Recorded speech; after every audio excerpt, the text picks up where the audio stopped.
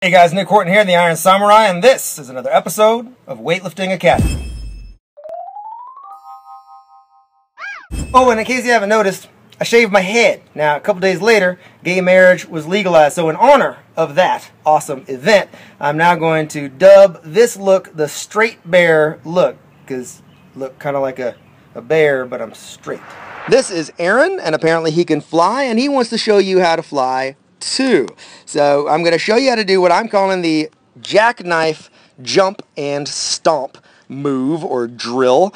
And uh, that's because when you're in the air, I want you to look like a jackknife of some kind, or at least a knife.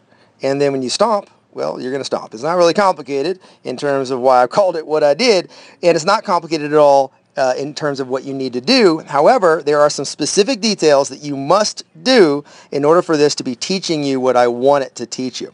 Most important thing is when you jump up into the air on each rep, you need to flex your quads and your booty as tight as you can and keep them flexed in the air so that you have this straight body thing going on. I don't want to see like a dolphin move where you're like like way back like that.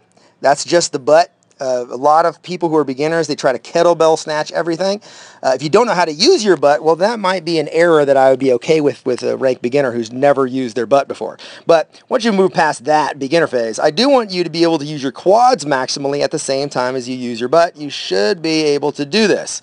So this is your goal. You're going to jump up in the air and flex your butt and your quads as tight as you can the whole time you're in the air. When you land, you need to land hard. So I should hear a stomp coming from your feet off of the platform. Most of the time when you're being taught jumps in any other athletic context, you're being taught how to land softly and there's obviously good reason for that. However, in the Olympic lifts, that's not applicable because you need to be able to stop a heavy barbell that will be over your head eventually from crushing you to death. So I want you to learn how to stomp hard and be rigid and tight the instant you hit the ground. So that's the combination. You're going to jump up into the air as hard as you possibly can, and when you're up there, you're going to flex your quads, flex your butt, Keep your body perfectly straight. So you're not bending back like this. You're not donkey kicking behind you. It's perfectly straight. And then when you're going to land, pop, and you're going to stomp real hard, and you're going to be super duper rigid. You're not going to move at all.